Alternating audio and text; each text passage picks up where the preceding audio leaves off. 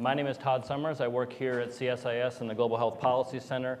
I'll be moderating the next uh, uh, panel, which is going to take about an hour to talk about uh, the humanitarian issues that were raised uh, previously. Uh, as we heard, there are over 9 million people uh, in various stages of, of humanitarian assistance need, either inside Syria or in the borders of that country. it is a crisis that is unparalleled uh, and, and, and raises a number of very important questions. We have two uh, great speakers here to talk about uh, the current situation and the plans for moving forward. Uh, we have with us Nancy Lindborg, who's the Assistant Administrator for the Bureau of Democracy, Conflict, and Humanitarian Assistance at USAID. Uh, and we have with us Robbie Torbay, who is the Vice President for International Operations for the International Medical Corps. Uh, both of them have been working assiduously to address some of the humanitarian challenges that have been raised. Uh, just to give you a sense of the format, what we're going to do is each of the speakers is going to be uh, providing some introductory comments for seven to 10 minutes. Uh, we've asked them to give us a broad overview from their uh, two perspectives. Uh, and then we're going to turn right to you for questions and answers. So this is a chance for you to engage. we'd like the questions to be short uh, and we'd like them to focus on this particular topic, which is humanitarian assistance. There are other sessions later today that will get into some of the other uh, issues. So uh, I'll try to keep things focused a little bit and moving at pace. So uh, Nancy, thank you very much for coming. Thank you for your hard work in this area. Uh, over to you. Great, thanks, Todd. And um, thanks to Steve and CSIS for, for hosting this great link to have. I mean, one of the in, sort of interesting features of the whole Syria conflict is it really has been played out on Skype and, and the YouTube. So it's, it's a very different kind of conflict because we are so up close to it. And yet, as, as you mentioned, Steve, it has become a numbing conflict uh, because of the size and the complexity. Um, and violence and um, the impacts of that violence have seriously escalated, especially just in the last year.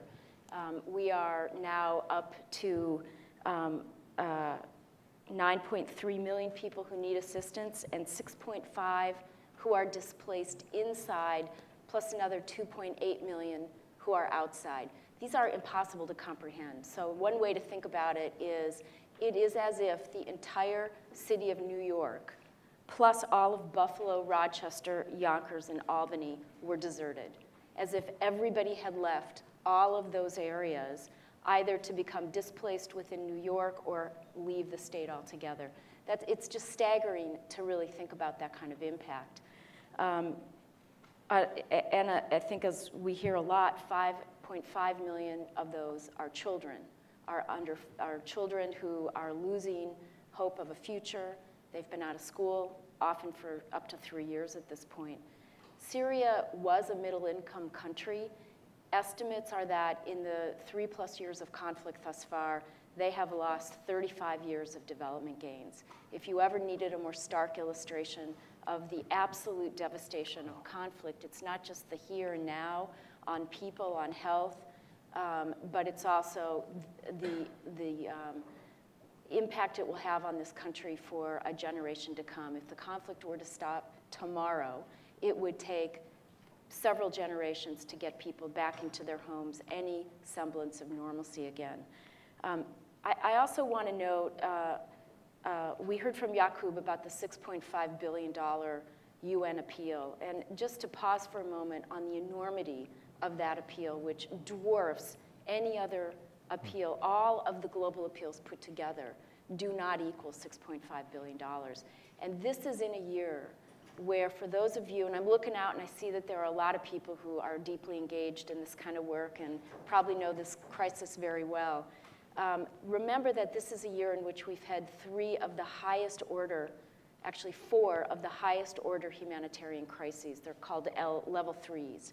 And so in addition to Syria, we also have South Sudan, which is now spilling over into its neighboring countries. We have Central Africa Republic, and we had the typhoon in Philippines in December.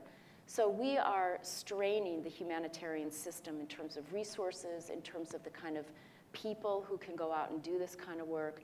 Um, and we are looking ahead uh, to a conflict that has a little hope of being resolved in the near term, and if it is, the impacts that will continue. So the United States, um, as Yaqub mentioned, uh, has been the largest single donor to the humanitarian effort thus far. Uh, Secretary Kerry was in Lebanon just uh, a week or so ago and announced an additional $290 million, which brings our total contribution to Syria and the region to $2 billion since the con conflict began. Um, I mentioned the escalation. We have, over the past two years, continued to increase our humanitarian assistance as quickly as we can, both in terms of, of funding provided. We have increased our partners from 12 partners a little over a year ago. We now have 27 partners working inside Syria. And we have consistently used an approach that works through every possible channel. We have all the kinds of partners that we possibly can, UN, uh, international NGO, local NGO, uh, internal networks, in an effort to reach all parts of Syria uh, through all the means possible.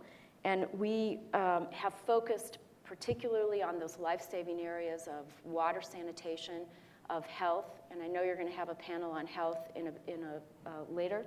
Um, but I do want to flag that um, this has been an especially difficult conflict because of the absolute egregious targeting of civilian facilities with a special targeting of, of doctors, of nurses, and of hospitals. Um, and the health system, when we first started, uh, we focused on providing health that um, uh, focused on trauma care for those who were wounded. However, as the system, the entire health system has just crumbled, um, it's increasingly had to focus on the kind of health that is just every day for people, um, including uh, fighting the kind of diseases that are now unfortunately becoming a risk of ep epidemic, polio and measles. Um, food, we're the largest donor of food both inside Syria and in the region. Um, I do want to note that regionally, uh, working with WFP, we've moved into a uh, debit card to enable refugees to go to a store with a debit card and buy what they want um, at a time that is convenient for them, which has been life-changing for the refugees.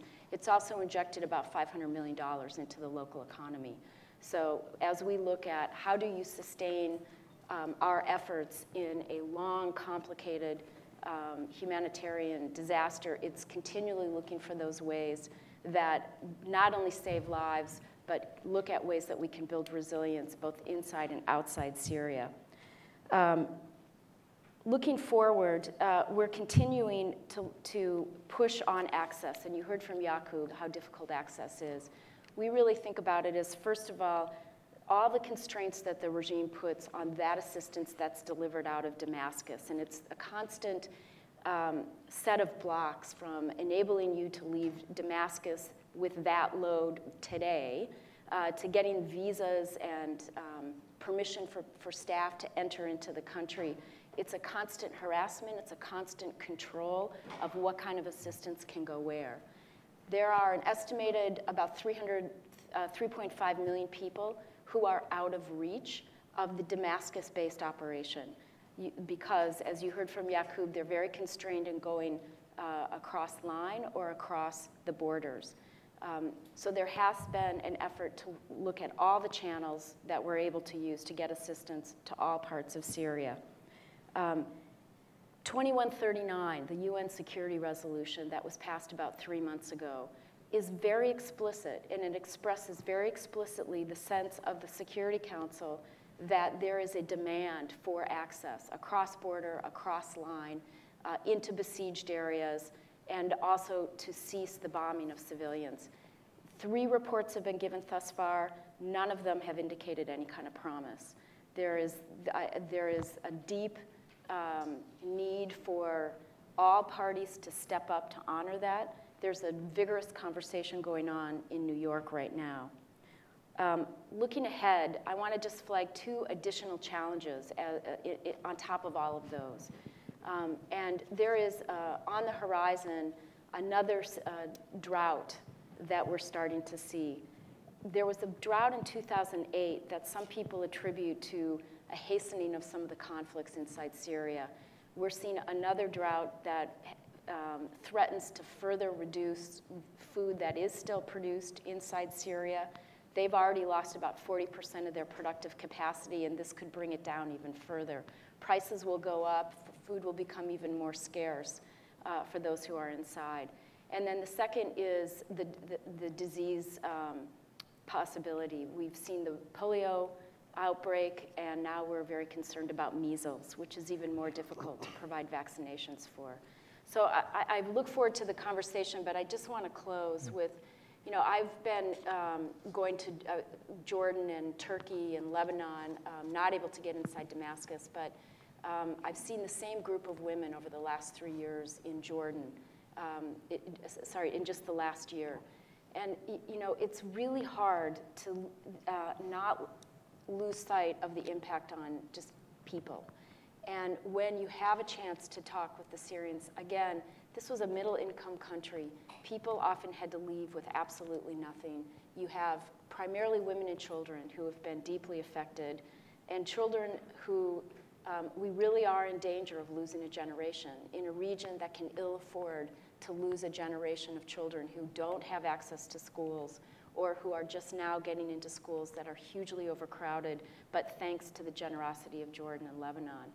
There's an urgency not just for saving lives um, in, a, in an environment where the violence is escalating, but there's an urgency with the hopelessness that's starting to settle in with people who, are, who have lost everything.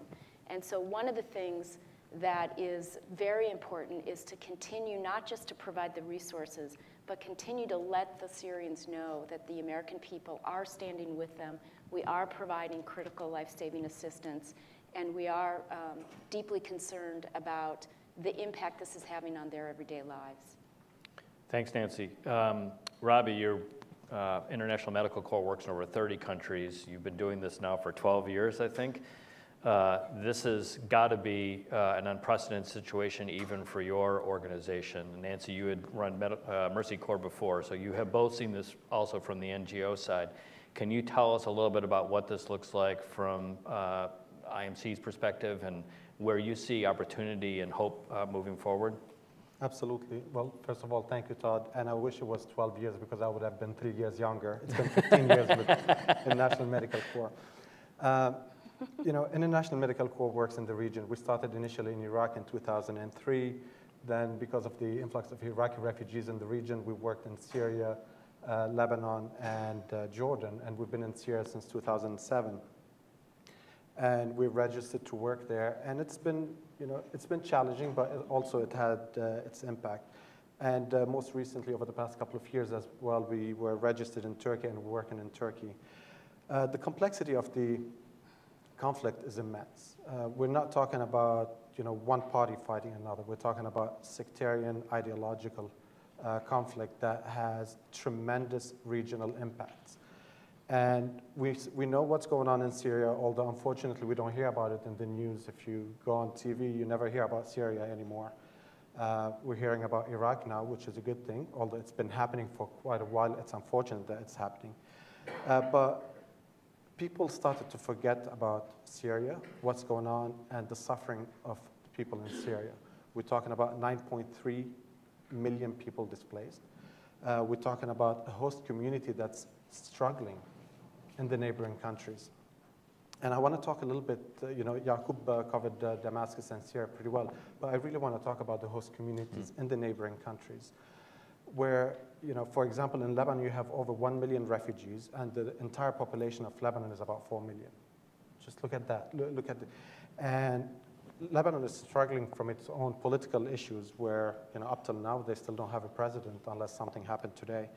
Uh, but they, we still don't have a president in Lebanon. The economy is still uh, struggling. And then you add a million uh, refugees, in addition to the Palestinian refugees, in addition to the Iraqi refugees that have been there.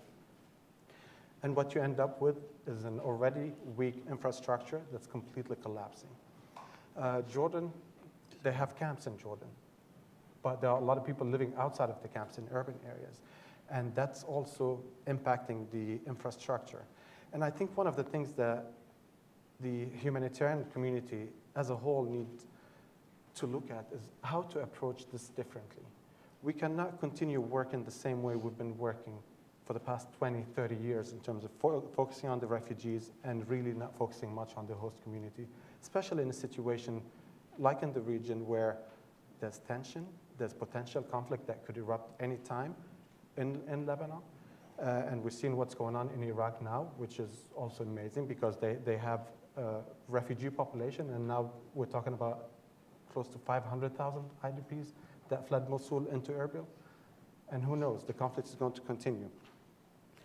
I think we need to start, you know, take a step back, as uh, Yaqub said, and look at what needs to be done. We all know that refugee situations in the Middle East are never short term. The Palestinian refugees, when they fled in the 40s, we thought a year or two, they're still refugees. Iraqis, they fled in 2006 and 2007, they're still there. Now we have the Syrians. Let's be realistic. The Syrians are not going back anytime soon. I think the, the uh, Turkish government initially hoped that they will go back within six, to, uh, six months to 12 months. Now they realize that they're there to stay and they're changing their approach as well in terms of asking for assistance when initially they didn't want anybody to assist them. In a, in a country like Lebanon that's really on the edge where there's tension between the refugees and the host community, we need to change our approach. We need actually to focus on the host community rather than the refugees. The entire focus has been on the refugees with the hope that the host community would benefit. Refugees have their needs, but the host community actually have their needs. We need to start focusing on the host community. We need to build the infrastructure so they could cater to the refugees and let the refugees benefit from the investment that we do in the host community rather than the other way around. Uh, we also need to start delivering aid differently. The, the debit card approach where you give you know, a debit card to a Syrian refugee and tell them, you know what you need.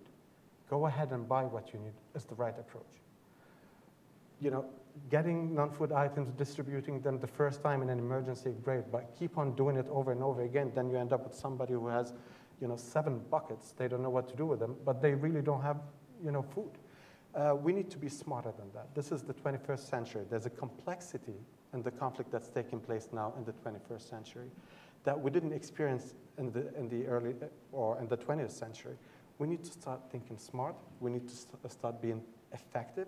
We need to start planning for three to five years because you know, I hope the level of funding that the US government and other donors will, be, will remain the same for the next three to five years.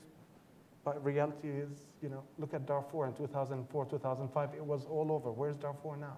How much money is going to Darfur? If this conflict continues, and as we see, there is no real end in sight, you know, we're all hoping for a political solution because it is the only solution.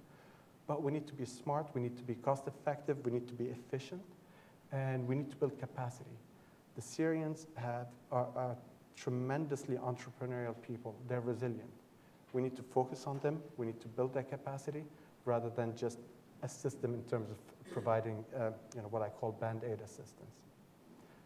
So let me, let, me, uh, let me start there and then we'll turn to the audience. But I, I want to probe a little bit about this question around when to move from crisis to a long-term response, when you sort of need to do both at the same time. Um, mentioned that this is a catastrophe. He mentioned uh, a clumsy political situation. Um, the movement of people is substantial and, and changing every day. So there is an imminent, urgent crisis today, and yet you're also arguing for a long-term response where the tents need to be moved to houses and you need to start building infrastructure and, and economic capacity in schools and hospitals. Um, how does that go over with the host governments uh, that are probably not so happy to be talking about long-term uh, uh, engagement with refugees, even if that's probably what we all know is the case? And, and how is the U.S. looking at the sort of need to both be urgent and long term in its thinking? Robbie. Uh,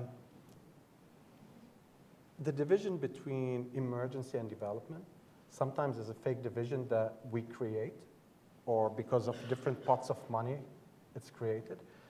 I think the approach should always be, you know, you address the emergency need, but also look at what needs to come next. Uh, you know, what I mentioned in terms of, you know, there's a refugee population. It's there. They have urgent needs. It is an emergency. Anytime there's a refugee population, it's an emergency. But what I mentioned in terms of focusing on the host community, building the capacity of the host community, you know, definitely focusing on the, local, on the host uh, governments as well that have invested billions or millions and millions of dollars in a refugee population that they had no choice in. Uh, focus on building the capacity, the municipalities, the hospitals, the clinics, the schools, so they can see actually that the refugee population is not just a burden. It could be actually an opportunity as well for their governments to provide for their own population. I think that approach of linking the relief or humanitarian with the, the development is the only way forward in a complex situation like Syria. The same thing in Jordan. You know, Turkey is on a different level, but it's the same approach that, that needs to apply throughout the region. Nancy. Um, absolutely. Uh, it, it, I would distinguish, however, between inside Syria and the crisis that's occurring there and the crisis that's occurring in uh, the surrounding region. You want to look always at all the ways you can help people not just survive a crisis, but maintain dignity and create opportunities for the future. The, the difficulty inside Syria is that the bombing continues. And um, you know, we're hearing that there are fewer clinics being bombed these days, is, and that's because there are fewer clinics to bomb. And so there is a limit to what one can do inside Syria, although there are, there are efforts to help some of the communities, especially in the, in the northern area, um, look at how they can um, function more normally and have garbage services and things like this. In, in, the, in, in Lebanon and Jordan, there is a very different opportunity, and I completely agree with Robbie that um, there needs to be, and there is uh, a shift happening where we have to take a different approach. There's been a, an effort within the international community to develop something called the Comprehensive uh, Strategic Response Framework. And it's, under, it's understanding that we have these artificial dichotomies in our international humanitarian um, architecture and our development architecture that does not serve us well in these kinds of environments. So there was mapping done in Lebanon, for example, where it showed that the greatest convergence of poverty overlaid exactly with the greatest convergence of refugees, so that one needed to look at all uh, simultaneously. Uh, a, two years ago, the Jordanian government was very determined that we not shift the USAID bilateral aid program to do anything differently. That attitude has significantly changed with the continued influx of refugees, and we have now pivoted our bilateral program. We have about a $660 million uh, development program that also includes loan guarantee funding. It adds up to about a billion dollars of assistance that the U.S. provides Jordan every year. Much of that has now focused on looking at how do you help communities that are hosting refugees and experiencing tremendous strain on schools, hospitals, electrical systems, and water. Um, about a year ago, we were able to deploy a, a, really important fund that we have called the Complex Crisis Fund that enables us to move quickly um, to do different kinds of programming. And we began looking at the water systems in northern Jordan. Um, this is one of the most water scarce countries um, on the planet. And with this influx of refugees, there is a depletion of the water availability that is critical for us to address schools, um, hospitals, we've got to increase the capacity of both of those so that they can continue to take in the Syrian refugees.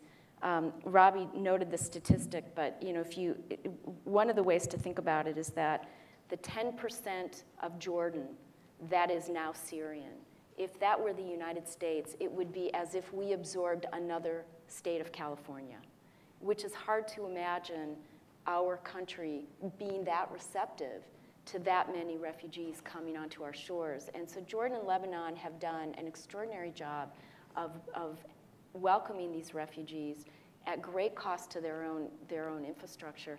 And so we need to shift how we provide assistance, um, especially looking at the long-term nature of this, because it's much more expensive to deliver uh, through the international uh, humanitarian system than to help the country uh, provide that. Both Jordan and Lebanon have done what they call resilient strategies, and there's an effort underway right now to see how we bring these streams together for what will be a long-term crisis.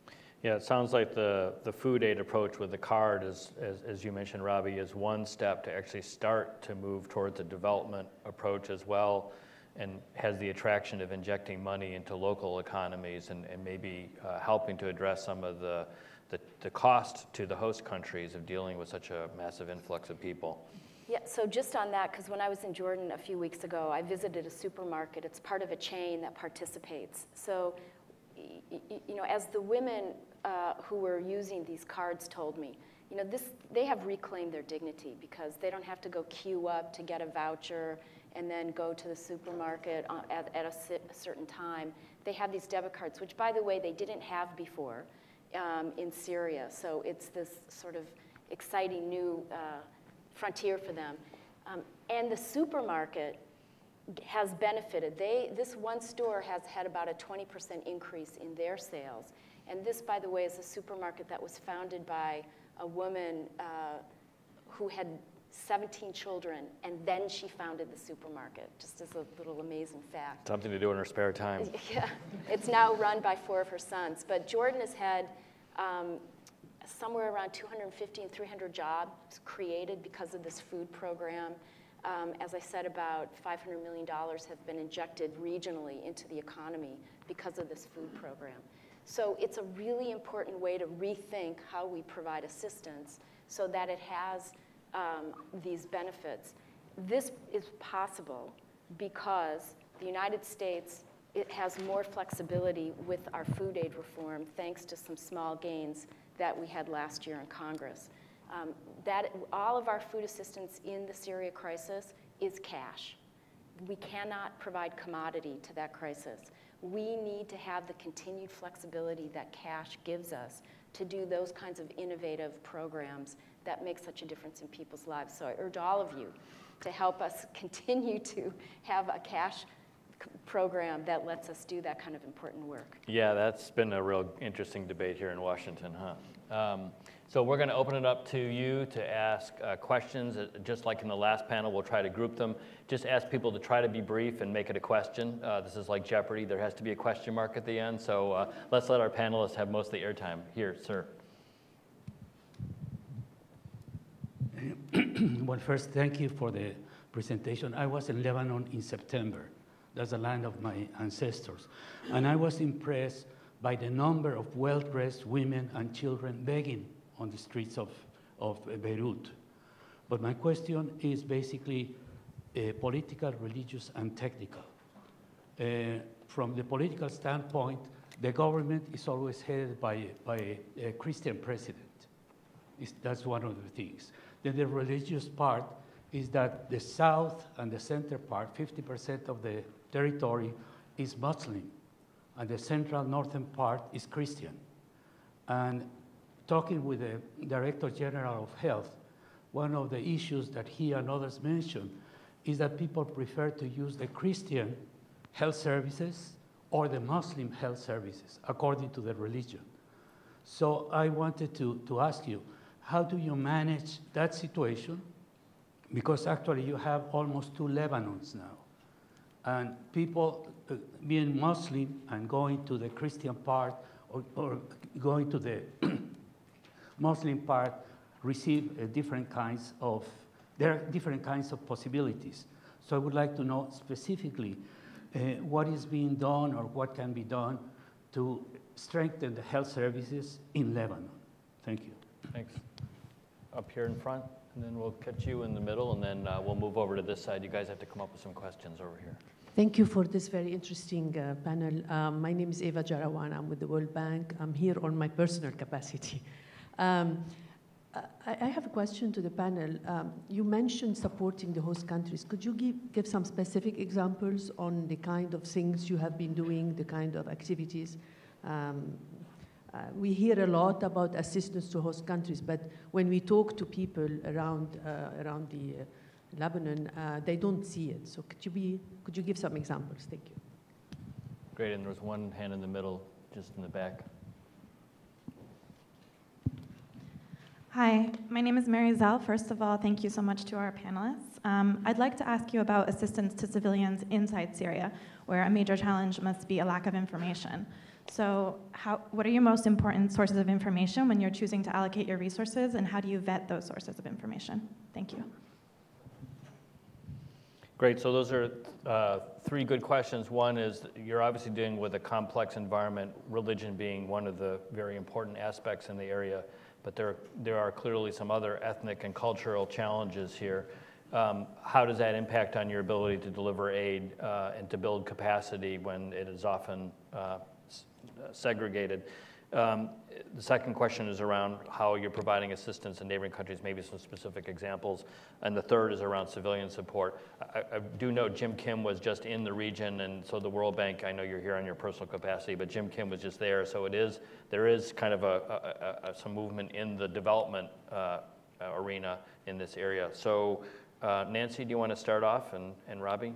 Sure. Um, uh, let me start with the what are we doing in the host countries? Um, clearly, there's um, an effort to align the contributions from all of the development partners um, and do so in a way that supports what is increasingly a country-led plan that the World Bank has helped both countries develop, these resilient strategies. Um, there is an effort for both Lebanon and Jordan to um, really uh, create greater ownership of this overall response. So it is not just uh, support for the refugees, but support for their countries as they host those refugees. Um, the United States uh, USAID budget has moved to have greater emphasis on those communities that are hosting, um, but looking at things like schools, hospitals, water infrastructure. So in Jordan, for example, we've um, expanded 67 existing schools um, and we've fast-tracked work to build 20 additional schools, just as an example. Similarly, in Lebanon, we're working um, uh, with a focus particularly on education. In both, both countries, to their great credit, have opened their schools up to Syrian kids. Um, most of them are double shifting so that the, the Syrians go in the afternoon. It's more difficult in Turkey because you have the language barrier. Um, but we have to make sure that you don't crowd out the Lebanese and Jordanian children. And so, you know, when we talk about not losing a generation, and by the way, there's a, a really important campaign called No Lost Generation that I invite people to explore because it is seeking to focus resources and attention on this generation regionally that, that is currently threatened. Um, so we have put a lot of focus and attention, um, about a billion dollars into uh, Jordan and about $60 million into Lebanon. Um, uh, I just want to make one comment on the well-dressed beggars, which is, I think, a symptom of, of, you know, again, a lot of these families are middle class. They've come across the borders. They're starting to deplete their savings. Many of them are not in camps. They're not even registered, usually headed by women.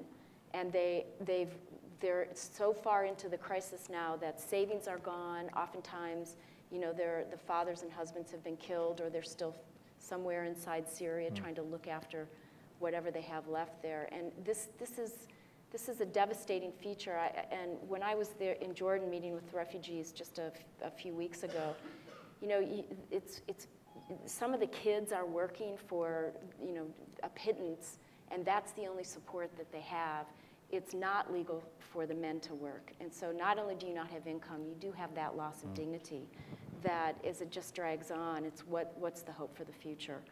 Um, finally, on what are our sources of information, it's, it's, we triangulate from our partners' information, from the needs assessment that the UN does. There was something called the SINA, which is a needs assessment that was done independently in the northern part of the country and another needs assessment done by um, A- ACAPS.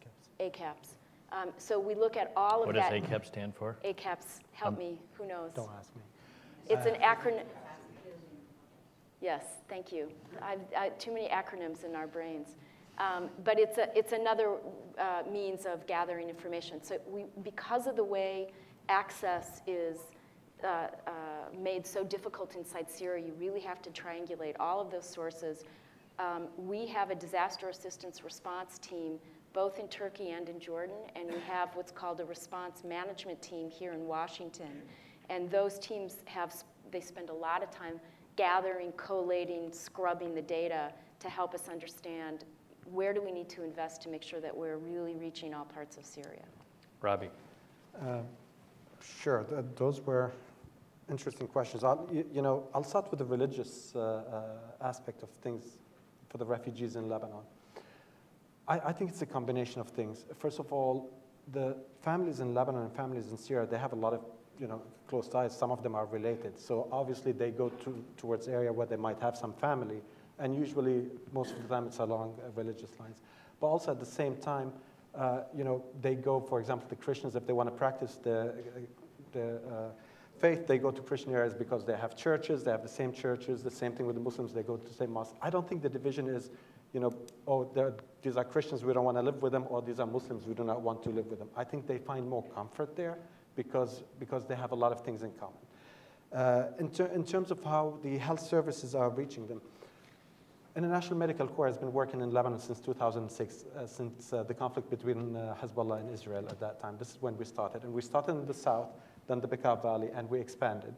Uh, we're working throughout the country, and I mean in the south, in Sur, in Saida, in Marjayoun, in the Bekaa, in, in Zahle, in Arsal, in the north, in Akkar. I can name them all because I'm originally from there. I can. Uh, so, so we work in everywhere, and it's a combination of uh, things. We provide uh, healthcare through clinics that are already existing that we support uh, because we want to build the capacity, but also we have what we call mobile clinics that go, go from one area to the other depending on where the population is. And that, it doesn't really matter whether it's Druze, Sunni, Shia, uh, uh, Christian, it doesn't really matter. Um, which addresses a little bit of uh, your question in terms of what are we doing. I think, you know, a lot of NGOs are doing great things in the refugee, in both in Jordan, Lebanon, Syria, Turkey, and Iraq. Uh, one of the problems that we have is that um, in those situations, we don't use too much visibility. We don't wave our flags. We don't put our stickers. And we, we tend to support the host government as much as possible or the clinics that are already existing by providing them medicines and medical supplies, pay salaries, just to get them to provide service to the people as well as the, uh, to the refugees.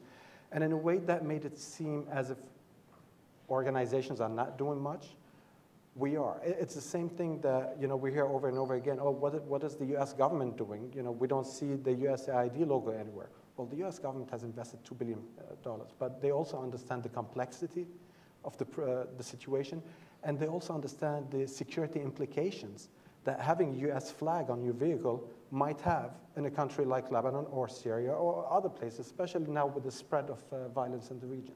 So just because it's not visible, it doesn't mean it's not there. There's a lot that's uh, be- being done, and you know, I can give you a, lift, a list of locations as well in details.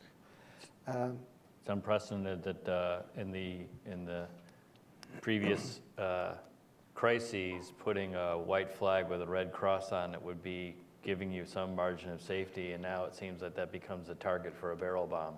So the, the, the rules have, have changed or gone away in many ways to the, to the idea that somehow you would label the people that were there on a humanitarian mission to give them some form of protection, and now when you label them, you make them targets. That's, it's a, a sad and onerous development uh, uh, in this crisis that hopefully don't see spread to others.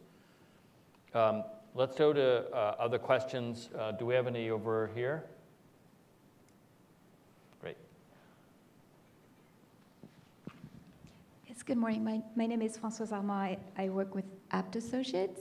Um, I have a question about doctors and health workers who, I mean, I was struck to hear that there was a significant loss of life amongst them in Syria.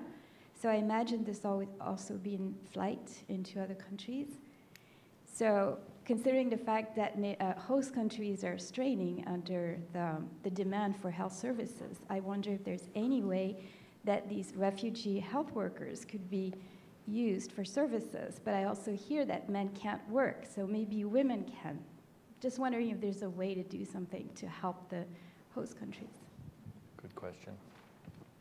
Others? There's one over here.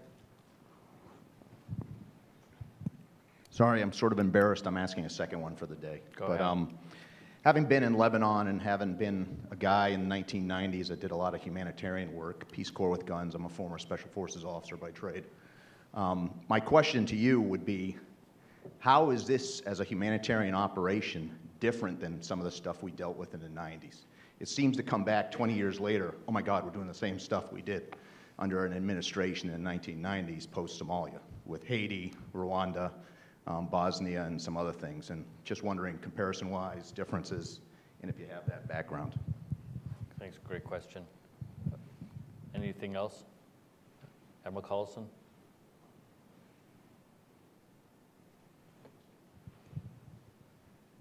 Tom Cullison from U- Uniform Services University. This will probably be viewed as a very naive and probably controversial question, but one uh, issue that might be brought up by some would be this massive aid to support the uh, result of a, of a war that seems to have no end, that requires a political uh, solution, uh, could be viewed by some as perpetuating the war by solving the problem that's been caused by others and not passing the responsibility back to those who created the problem in the first place, the, the uh, participants in the war.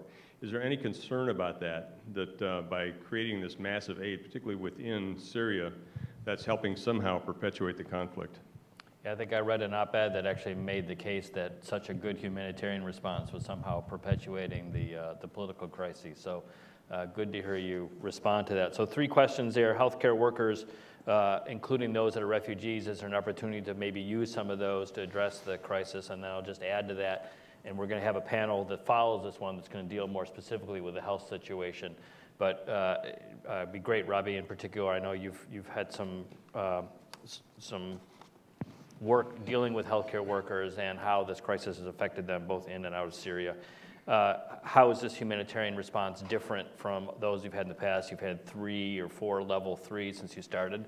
I bet that wasn't part of the This recruitment year. strategy uh, for you and the job. Um, so, uh, is this one different? Uh, and does the fact that there is now this deliberate targeting of, of humanitarian workers, the using food and water and health services as an instrument of war, has that changed the characterization of the humanitarian response? Uh, and then Tom's question i- is in some way ameliorating the suffering and, and addressing this so well, somehow uh, helping to perpetuate the problem. Nancy.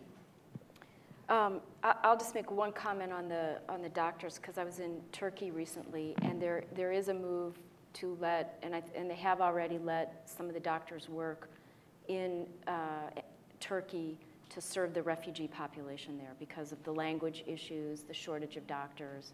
Um, And I'll, I- know Rabih can probably say more about that, but that, that is very much recognized. Um, I- When I said the men can't work, I- the women can't work either, but it's, it's more of an issue for, that, that I hear about from the men who I speak with. Um, In terms of uh, the, the other two questions, I mean, this is, these are the textbook questions about any complex crisis response. And, and Syria, without question, will generate, you know, a whole new compendium of difficult lessons um, that you look at. I, I would, uh, in, in response to how do I compare this to Haiti, Somalia, Rwa- Rwanda, I mean, that list could continue on, including, you know, CAR, Central, uh, South Sudan. Um, what is, what is absolutely the same about all of these crises is that fundamentally a failure of governance, that they all share a lack of an accountable, legitimate, uh, inclusive government. In fact, I have as a money-making project, I'm going to write a dummy's handbook for dictators in how you can help ensure that your country dissolves into war and collapses, is that you, you know, you marginalize people, you don't deliver services to your citizens, um, that you are repressive, that you have ineffective institutions, that you don't invest in governance. And the, they all share that. And I run a bureau at USAID called Democracy, Conflict, and Humanitarian Assistance. Those are linked for a reason. Because in the absence of a legitimate, accountable, democratic government, you cannot manage conflicts, which happen in every country. We have them here all the time. It, they're just manageable. And you are unable to respond to crises, whether they're disaster or, or so that is, and as we look at shrinking aid budgets, as we look at shrinking ability to invest in support for developing more accountable and legitimate governments, that's exactly why we need to do so. That's why these are poster children for better, better development. In terms of the humanitarian operations that have gone in there and, and here, Um, you know, there are a lot of similarities and there are a lot of differences based on the particular environments. Um, access, security, and resources are probably the three words that mark all of these humanitarian responses. The big difference is in Syria, you still have a government that is blocking and impeding access, claiming sovereign rights, even as they do not provide uh, for their citizens as they try to kill their citizens, which is an utter violation of the responsibilities of sovereignty. And so, you know, in the others, you had utter collapse. Here you have a, a, a state trying to hang on to sovereignty, mm. even as they barrel bomb their citizens. So that's a big difference. Rabih. Um, again, on the refugee doctors, it's, it's getting better. Uh, a few years ago, three years ago, they wouldn't allow any physician to practice because of the difference in education, language, even between Lebanon and Syria. The Syrian physicians study everything in Arabic. In Lebanon, they study it either in French or English, so there was an issue there. There's been quite a bit of uh, pressure that's been put on governments uh, to actually allow uh, Syrian physicians uh, to work. It's working in Syria where they can work in uh, clinics that treat refugees as long as there's a supervision from a Turkish uh, physician, which is fine. in Lebanon, it's not official, but they can, you know, they can work a little bit, but we still have miles and miles to go. There, there are a lot of uh, physicians that are extremely qualified that are not working in the region. And one thing we've seen about actually Syrian physicians, when they flee the country, if they flee with their families, they make sure that the families are fine, then they go back to Syria mm. most of the time to treat Syrians there because mm. they know that their skills are needed there. And that's why we always see a high number of physicians being killed in the conflict it's because they're targeted, but it's also because they go back to do their job, which, which is heroic. Um, yeah, Nancy answered the questions about the, the difference uh, between different uh, humani uh, humanitarian emergencies. What I would say about the conflict in Syria and, and the recent conflict is that when you look at Syria, you've got a government, you've got multiple opposition groups, they're all fighting, you've got cross-line, you've got cross-border, you've got ethnic issues, You've got the entire region and, and the entire region at large involved in the conflict, which is different than mm. uh, conflicts before. But also for humanitarian agencies, in the 90s, humanitarian agencies were not targeted. We might uh, get hit once in a while by, by a group of uh, uh, thugs, but now humanitarian agencies have become a target for, for many groups because they see us as an agent of change or agent of success, and they don't want to see that. And I think you know, for an NGO like us, that's a major, major issue for us. Um, uh, on the aid, you know, making things worse, my answer is going to be naive, actually. What's the alternative? We let people die, and then why are we building a government for? The only way to continue doing it is making sure that people survive, build their capacity, make sure that you know, we don't lose one generation after the other, until a political solution is, is solved. I do not see actually humanitarian assistance and the money that's being pumped in there as actually prolonging the conflict. Mm I think it's just making sure that people survive until a solution is, is uh, reached. Great, so we have a few minutes left, and, and uh, we have one question. Alan over there, uh, we have uh, Chris, and then one over here. So let's take these last three questions, and then uh, just to give you a heads up, I want to close with a little bit of the hope. Nancy, you talked a little bit about focusing on the lost generation. There's some amazing videos that have been produced recently. I watched some last night. They're, they're quite impactful. But it would be great, you know, out of this. Uh, Yaqub talked this morning uh, about some a situation that's dramatically dire, but he also used the phrase "glimpses of hope" several times. So help us see where there is light at the end of this tunnel, so that we we have something to aspire to. So, Alan. Uh, yes, I'm Alan Moore with the Stimson Center, and uh, also for more than 30 years a member of the board of the, uh, of the IRC, of the International Rescue Committee. I was reflecting on this question of numbness among donors and compassion fatigue and six and a half billion dollar ask, which just seems so uh, ambitious. Um, not that it's not, uh, not legitimate. And then I'm also thinking about the characterization of the challenges of dealing with refugee populations who, and, the, and the local host governments. Nothing new about that. That has been going on since there have been refugee encampments. I saw it on the border of Thailand in 19, uh, 1980. Um, and I've also, there's an education process for the politicians uh, and for the, pub, for the American public. There's this notion that, and this is true on boards of some of these enterprises, and you've probably experienced this.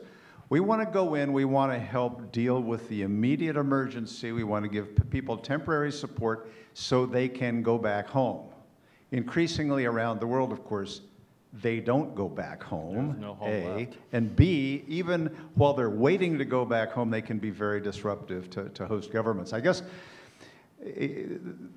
I, am I'm remembering some of the discussions in the board of the IRC over the 30 some years uh, as, as board members were resisting getting into the development piece because historically it was always very temporary. They've come around a long way by continuing to focus on the needs of the refugees and having that be the focus and say, this is a strategy for dealing with them. This is not mission creep into the needs of the local governments. Um, I would love your, if you, if you want to comment, I just thought I would share that, but, but, but comment on the ongoing challenge among donors of if you expand the mission, do you risk further numbing willingness to, to uh, contribute? He didn't tell you he worked in the Senate for a long time, too. Chris? Uh, Good morning, and thank you both, uh, and Todd, for, for what's been a very good panel. Uh, Following up on the last, actually, a couple of questions, um, and certainly from the beginning, we've talked about how this, this numbness of compassion, the fatigue, and even to some extent, even though all of us obviously are aware of this, to some extent, um, because of other crises in the world and other reasons, it just it hasn't necessarily stayed uh, as a top line uh, thing in, in, people's minds all the time. And so, with the fact that even if um, miraculously the political settlement occurs tomorrow, uh, this is something that clearly will in, will uh, the transformation of the region, uh, the other countries, the refugees, many of whom will not go back, at least not not for a while. Um, particularly from the IMC um, perspective, but perhaps with your other partners. Um, how is that reflecting or not reflecting in terms of recruitment, in terms of, because clearly the people that are doing this wonderful work in these amazing situations, we're going to continue to need um, lots and lots of people who continue to have that compassion and the willingness to, to do that. And so looking at this as a, obviously not months or a couple years, but going on for a long time. Uh, how do you see that as, as in terms of continuing to re replenish the workforce of what will be needed? Thank you. Thanks. And one last question here, if you'll be brief, because we're running out of time. Thank you. I will be. Uh, my name's Alison Campbell. Um, I oversee humanitarian media and communications at Internews. Um, and I wanted to ask, um, talking of doing things differently on the humanitarian front, and uh, the focus on resilience and agency, I wanted to ask the discussants to what extent um, we may be recognizing information as a form of aid, a really critical and empowering form of, of aid in and of itself, um, and to what extent we may see investment, new investment in programs that encourage two-way communications, feedback, conversations between affected populations, refugees, and humanitarian agencies, um, and also the possibilities of leveraging technology um, and local media to provide refugees and host communities with the information they need to make decisions about their lives, how to engage with one another, with humanitarians, and just generally become more active agents in their own survival. Great. So, uh, good closing questions. Um, Nancy, you noted in the beginning that this is unlike other crises. This one's played out pretty well in terms of social media and press, and though that doesn't seem to have necessarily stimulated the kind of uh, groundswell of, of support that we, we'd like. So, uh, do you see information um, both as a tool to help uh, people in the region become more agents of their own change, but also as part of the uh, assistance effort that you're doing. Uh, a question around the ability to continue to recruit the numbers of people that you need. I'm sure both of you addressed uh, that challenge.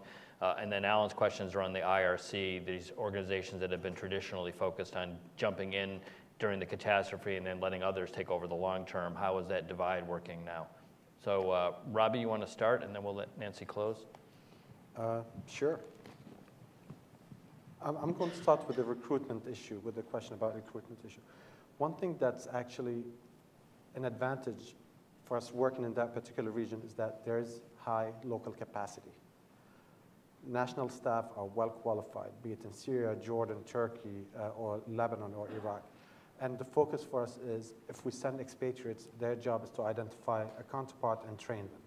In addition to that, the training and capacity building and uh, identification of uh, uh, national uh, stars, as we call them, working with the host government, building the capacity of the, you know, the clinics, the hospital, the host government, because at the end of the day, NGOs come and go.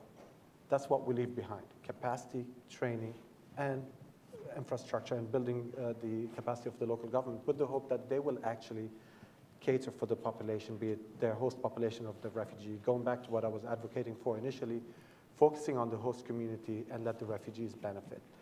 Uh, which leads me to the second issue about the refugees and the focus between refugees and, and or humanitarian and development.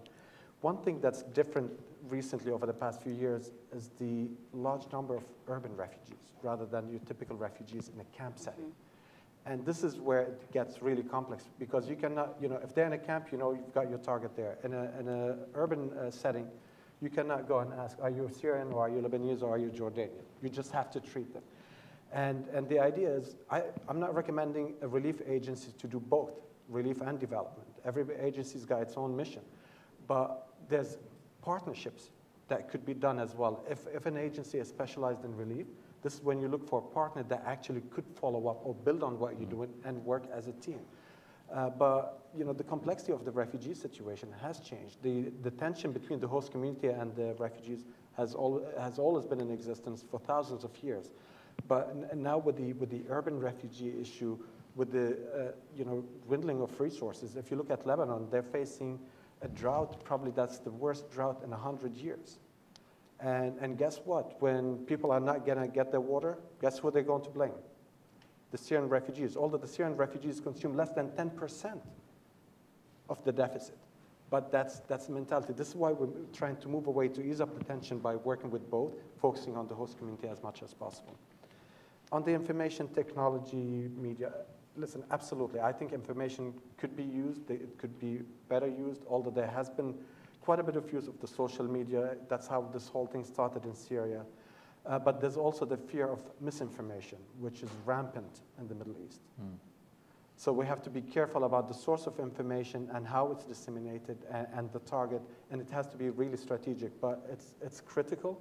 I think it's something that needs to be worked on. I know many agencies are working along that in terms of getting the information to the host community and the, and the refugees, but it needs to be better coordinated. There's quite a bit that's going on, uh, but I would always worry about the misinformation for political reasons as well.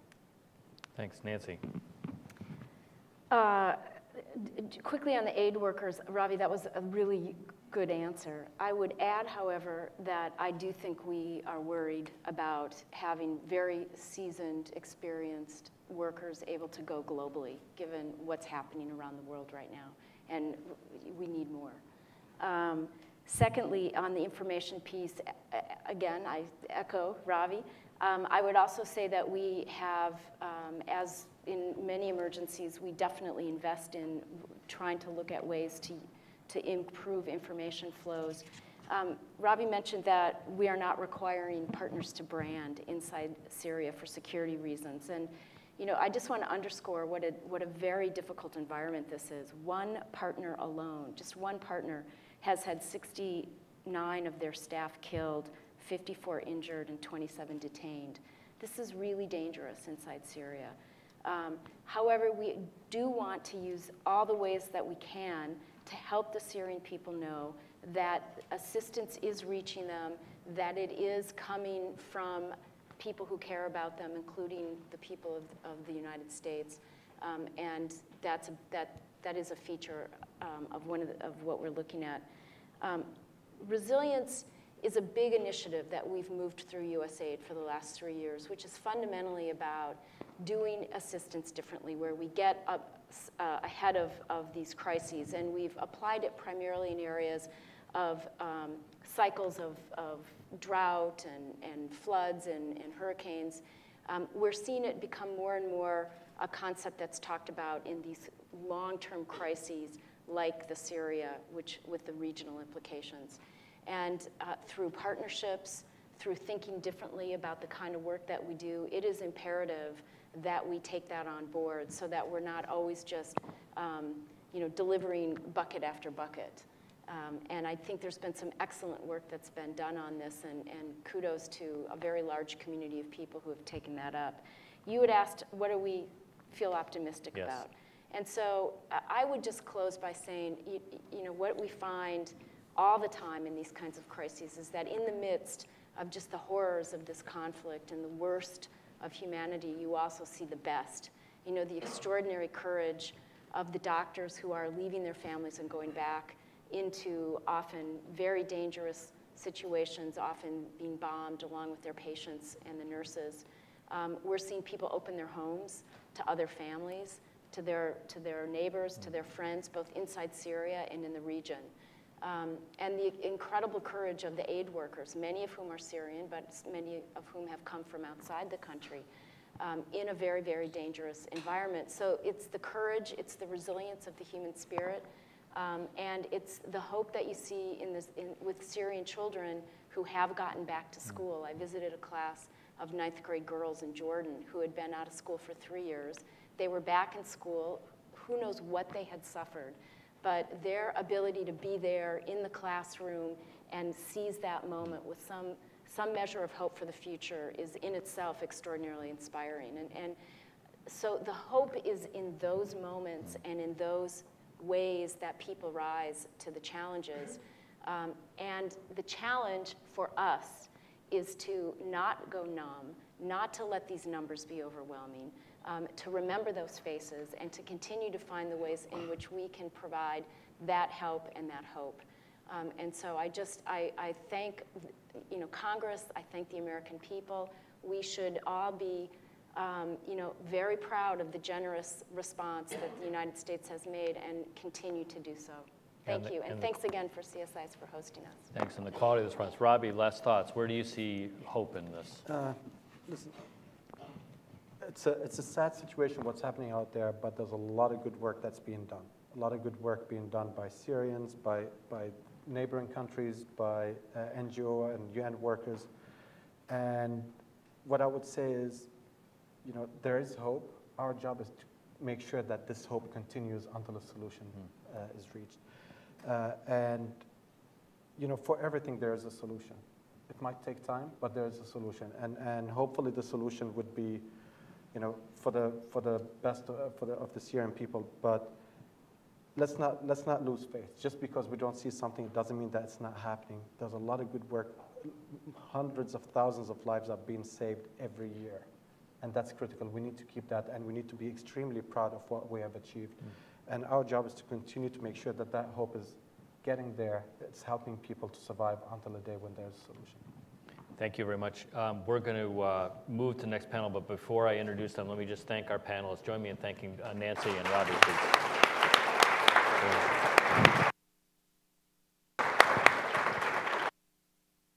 Get off the stage and, and, and move to the next panel, which is going to talk about the health sector uh, and the decline of public health uh, in the region. Uh, it's going to be moderated by Len Rubenstein from the Bloomberg School over at Johns Hopkins uh, and the former head of Physicians for Human Rights. So, Len, can you come up with your panelists and uh, we'll, we'll exit. exit. Thank you.